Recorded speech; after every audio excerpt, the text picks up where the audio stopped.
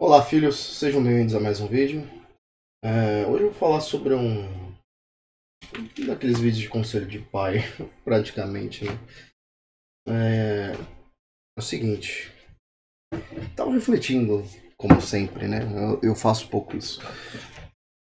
Sobre vocação, né? E eu percebi que nesses últimos. nessa última semana, com todos os percalços no caminho, eu consegui retomar um ritmo de estudos é, mínimo, mas assim, eu consegui retomar um certo ritmo de estudos e eu acho que isso daí foi um progresso em relação. Estudos eu quero dizer leitura, tá? Porque eu, lógico que eu estudo utilizando outras mídias e tudo mais, mas a leitura para mim sempre foi o melhor meio de estudo, né? E lendo, é, especialmente sobre filosofia, é um assunto que ainda preciso aprender muito, mas eu acredito que eu já consegui desenvolver alguma coisa em relação ao pensamento filosófico muito incipiente. Óbvio, eu não, eu não tô dizendo que assim, eu sou um pensador original, né? Mas assim, em termos de aplicar e observar o mundo e na minha própria área, eu consegui fazer um uso interessante da filosofia.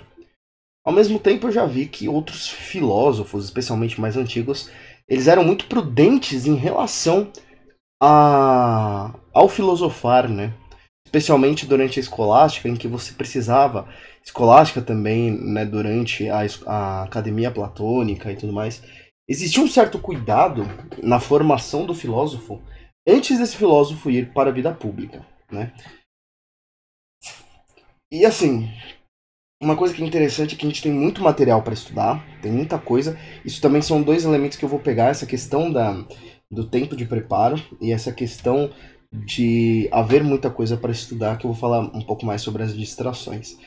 Mas por hora vamos falar um pouco dessa questão, que é o seguinte: é, eu me expus muito cedo nos meus estudos de economia, porque eu consegui absorver bastante conteúdo e eu quis repassar esse conteúdo para frente. E acredito que eu tenha conseguido fazer isso com hum, de forma imperfeita, mas eu consegui ajudar pessoas, né? E acredito que assim, o maior propósito que eu vejo nesse canal é ver o impacto positivo que eu tenho nas pessoas e eu acredito que isso seja algo que já faça valer a pena para mim. Tanto é que eu falei que eu deixei aquele outro vídeo lá, que eu falo mais de uma questão pessoal, foi um vídeo meio chato de gravar. É... Porque eu vi que ajudou algumas pessoas, tal, não sei o que, serviu de inspiração até é, para eu mesmo deduzir a solução do meu próprio problema também.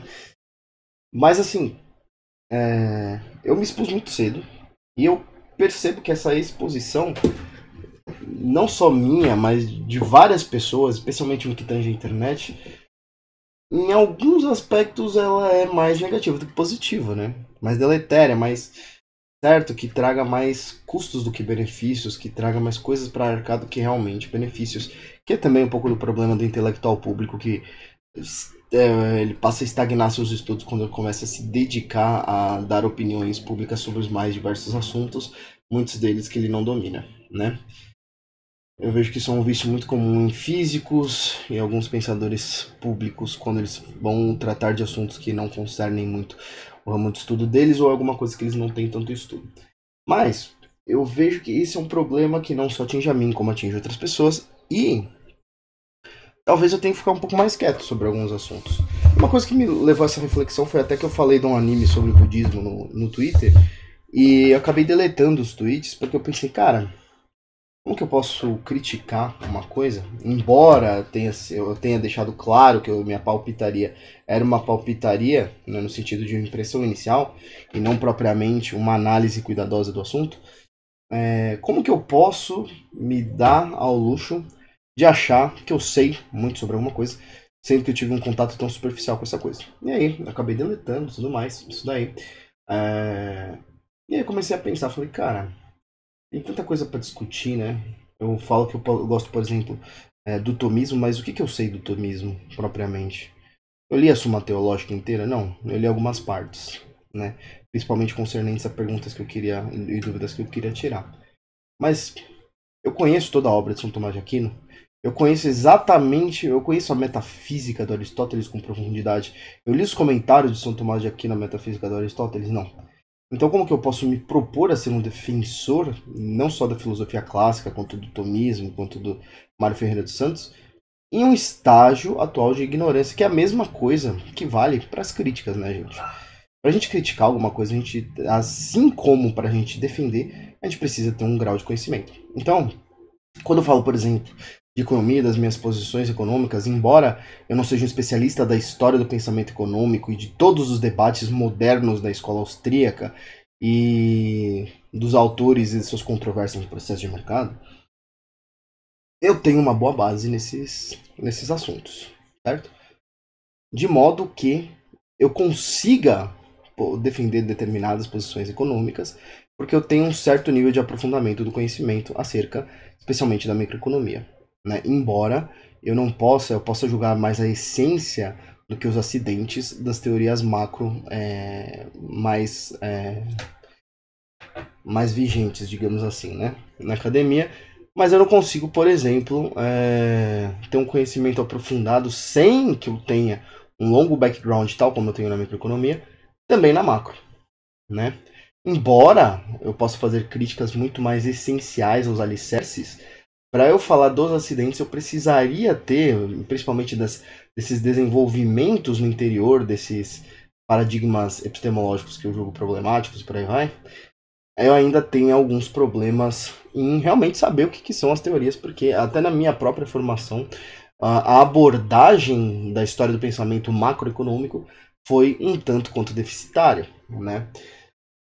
Então teria que ter mais cuidado nesse aspecto, embora a crítica filosófica seja uma crítica que eu acredito que seja é, satisfatória no sentido de ser difícil você tratar da macroeconomia sem fazer uma homogeneização né, dos, das variáveis então analisadas, que são muito mais construções estatísticas do que coisas que realmente têm substâncias que lhes são próprias.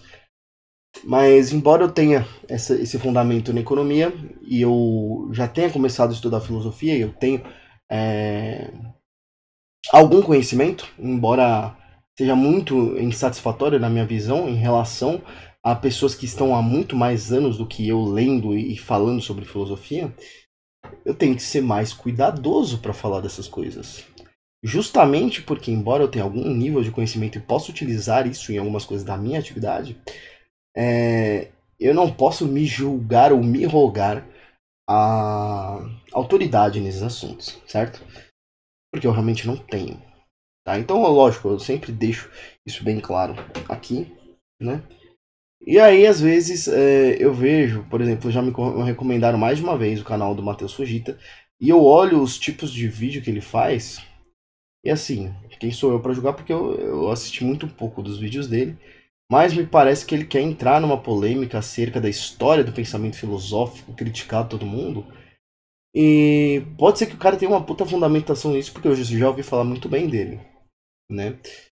É, mas me parece que não é uma posição que eu, pessoalmente, queria adotar para mim, entendeu? De ficar me envolvendo nessas polêmicas, até mesmo num estágio de desenvolvimento intelectual que talvez não seria interessante e eu estaria naturalmente palpitando e, e rogando para mim, né? um conhecimento que eu não tenho. Então eu entraria num, num, nível de arrogância nesse sentido. Tanto que eu já falei várias vezes que eu falei assim, eu não tenho bagagem suficiente para dizer que eu defendo uma determinada posição na filosofia, embora eu seja mais favorável, favorável a algumas do que a outras, né? Naturalmente. É, até mesmo lendo muitos diálogos do Platão, eu não sou um especialista em Platão, eu não sou um especialista nas doutrinas não escritas do Platão, embora eu tenha lido Giovanni Reale falando sobre elas, falando sobre o uno, a díade, por aí vai. Né? Princípio da unidade, princípio da multiplicidade e tal. Que são até anteriores às formas e que existe também uma multiplicidade inteligível, bibibi, bababó. Aí, eu vou querer entrar nessa, nessas coisas, eu acredito que realmente eu deveria focar mesmo na minha bagagem e naquilo que há de ser feito, em termos da minha formação intelectual, do que me preocupar com discussões que muitas vezes são brigas de ego e que são mais distrações do que propriamente o que é o propósito da vida intelectual. E aí, eu fiquei pensando sobre essas questões das distrações e tal. E é o seguinte, né? Como Aristóteles já dizia, Aristóteles e também o Platão, é, a gente tem que buscar em tudo na nossa, nas nossas finalidades, a gente tem que buscar sempre a justa medida. Nessa justa medida, ela é relativa ao fim. Ela não é uma justa medida no sentido de uma média aritmética, mas digamos, seria mais uma média ponderada, entendeu? Uma média ponderada relativa ao grau de importância que cada uma das, dessas faculdades que nós temos deve ser medida é, em relação ao peso que ela ocupa em relação ao fim.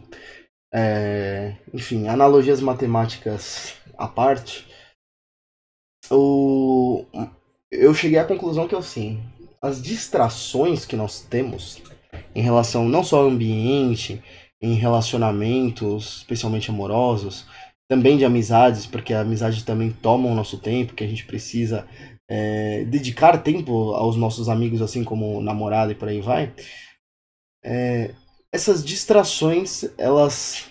Você querer simplesmente se livrar de todas essas satisfações, as distrações 100% do tempo, vai fazer com que o seu cérebro fique sobrecarregado com as suas responsabilidades, até mesmo as que você gosta, como por exemplo a sua vocação que você vê propósito da vida intelectual, que o fato de eu ter retomado esses trilhos me é, fez sentir bem comigo mesmo.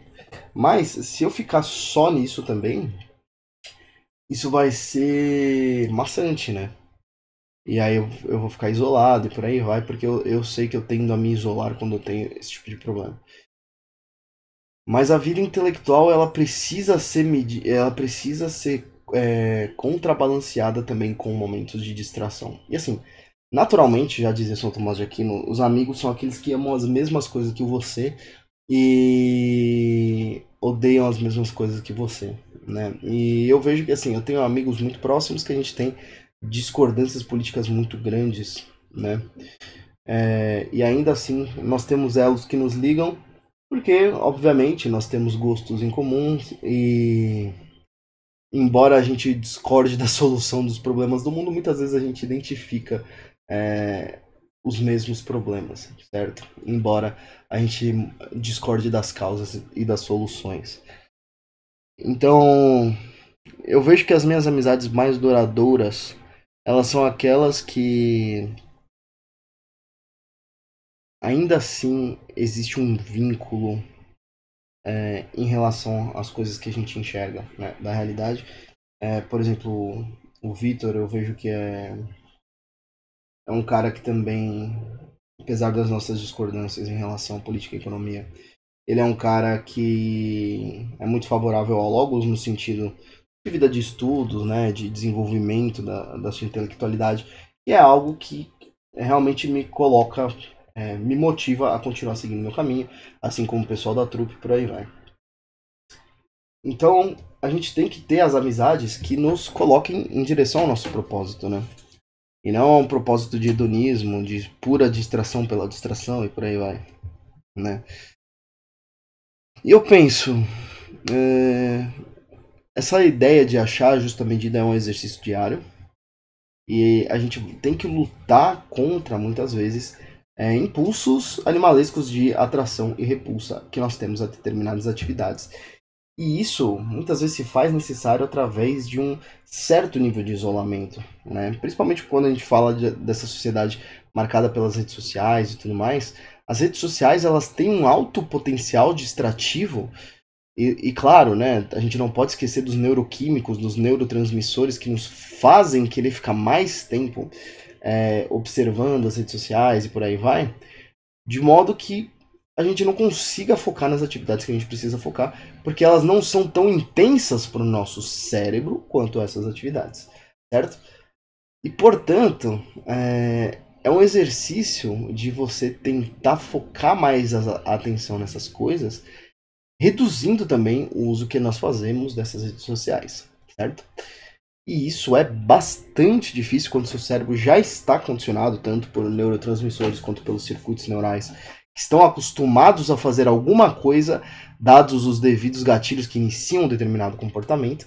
Mas se a gente identificar racionalmente essas coisas, nós podemos é, tentar evitar essas situações que geram esses circuitos e essas, esses comportamentos pré-programados, por assim dizer, certo?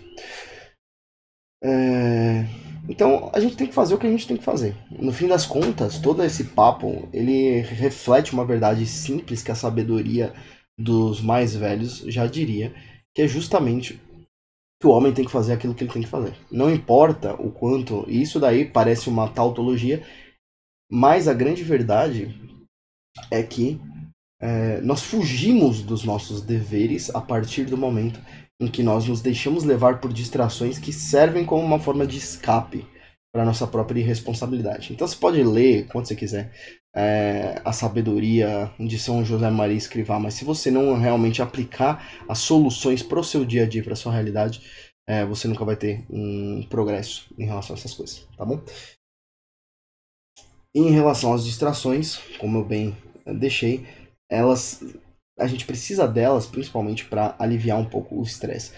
Por outro lado, quando nós falamos de filosofia, de saber teorético e por aí vai, a filosofia ela vai encher você enquanto a literatura entre aspas te esvaziaria. Mas a literatura, a literatura ela serve para preencher o seu imaginário de situações que refletem é, essas questões humanas e por aí vai, né? Como a gente fala, por exemplo, de Crime e Castigo do Dostoiévski, que fala da questão da psique humana e a nossa relação de acusação e, e defesa, né? essa dialética interna que nós temos com nós mesmos, né? E como essa dialética interna é um processo que, na verdade, ela não vai no raiz do problema, mas a raiz do problema não é você se acusar e se defender, mas propriamente as atitudes que você vai tomar para viver é, de uma maneira justa, certo? É, que está mais menos relacionada a você querer ficar se acusando, se defendendo e por aí vai, e mais com uma relação de, cara, você conhecer o que é certo e errado e você agir em cima disso propriamente, entendeu? É... Então a gente tem que fazer o que a gente tem que fazer. Isso é básico, básico, básico, básico, né? É, e a gente tem que manter o foco. E manter o foco, como eu falei, as distrações elas são necessárias, mas as distrações também precisam ser ponderadas, certo? As distrações, elas têm uma certa relevância, mas essa relevância é muito menor do que o foco no seu propósito, né? E às vezes, até dentro do seu propósito existem distrações, cara. Por exemplo, eu tenho muito livro, certo? E aí eu preciso focar em finalizar o estudo de alguma matéria em específico, que o interesse por outras matérias, devido ao paradoxo da escolha, ter muitas coisas, é, acaba me desviando do propósito de terminar aquilo que eu tenho que terminar naquela hora. E por isso que eu fico com um monte de leitura inacabada. Porque eu começo a estudar uma coisa e aí eu vou estudar outra. Por quê? Porque me deu vontade de estudar essa outra coisa. E aí eu nunca sei qual que eu vou estabelecer a prioridade. Então, você quer estabelecer a prioridade de uma maneira mais fácil? A primeira, a primeira coisa que você tem que pensar é: esse estudo que eu estou fazendo, certo? Eu preciso dele agora. Porque às vezes tem, às vezes tem estudos que você fala assim: ah, eu vou prestar um PEC, ou eu vou fazer uma prova para uma vaga de economista em tal lugar. Então eu preciso revisar tudo de economia, basicamente. Então eu vou ler os manuais, vou ver vídeo, bibibi, bababó. Isso é uma prioridade urgente, certo? Relacionada assim temporalmente, né? Agora, eu vou fazer isso ou eu vou ler filosofia? Hum, eu acho que agora, agora, agora, prioridade é estudar economia devido a uma finalidade presente, né? É, ou no caso, fala assim, porra, eu tô terminando esse livro agora e eu acredito que ele vai agregar no meu conhecimento geral para ter uma visão mais ampla e menos reducionista da realidade. E esse livro, cara, eu tenho que terminar esse livro, porque eu comecei esse livro, entendeu? Então, porra, eu, eu lendo um monte de livro. Cara, termina o que você tá lendo agora, ou que tá mais tempo, pendente. Ah, mas eu não vou lembrar de uma par de coisa do livro. Cara, mas termina. Dê encerramento às suas coisas. A menos que você não veja propósito algum com esse livro. Você fala, cara, eu não consigo, eu não vou ler, isso não vai ser proveitoso, não vai valer nada para mim, eu vou dropar essa leitura. Às vezes você tem que dropar a leitura também. E tem coisa muito mais importante para você ler naquele momento e você fala, cara, essa leitura é deletéria, ou eu tô lendo um negócio, eu acho uma merda.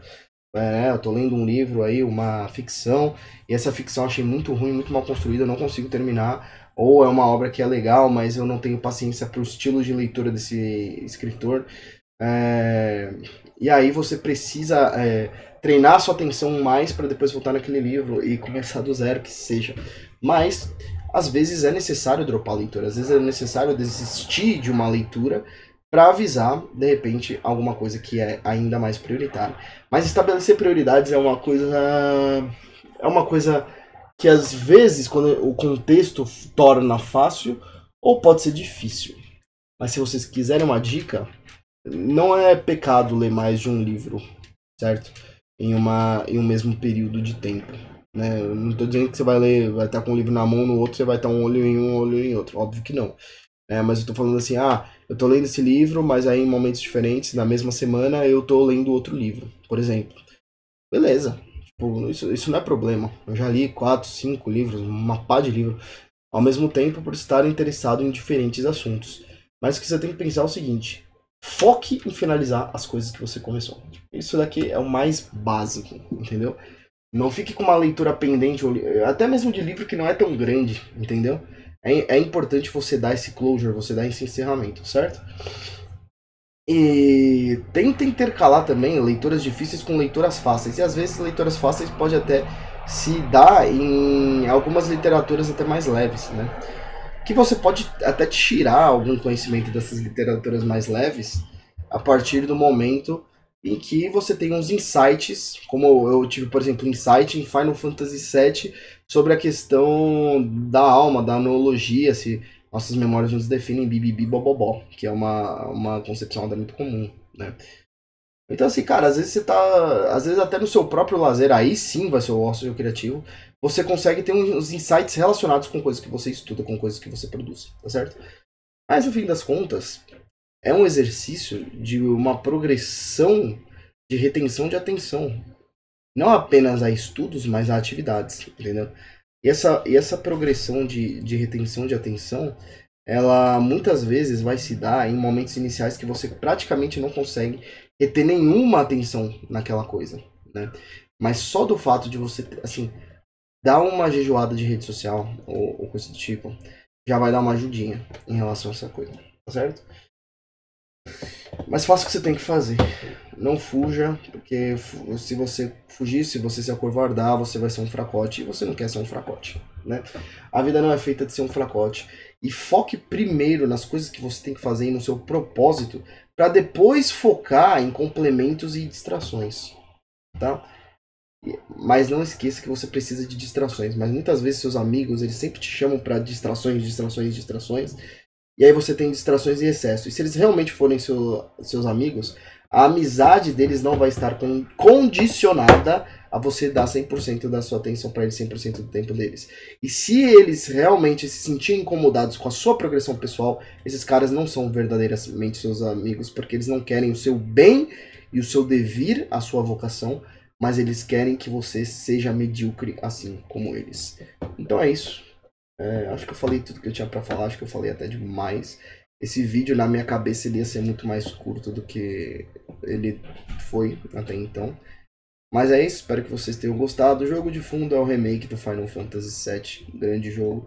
Eu já aproveitei a mesma gameplay footage para dois para dois vídeos diferentes, mas enfim. E o Barrett e o Cloud não estavam na destruição do reator Mako no jogo original. Mas é isso. Forte abraço, fiquem todos com Deus. Quem acredita em Deus fica com a força do Luke Skywalker. Falou.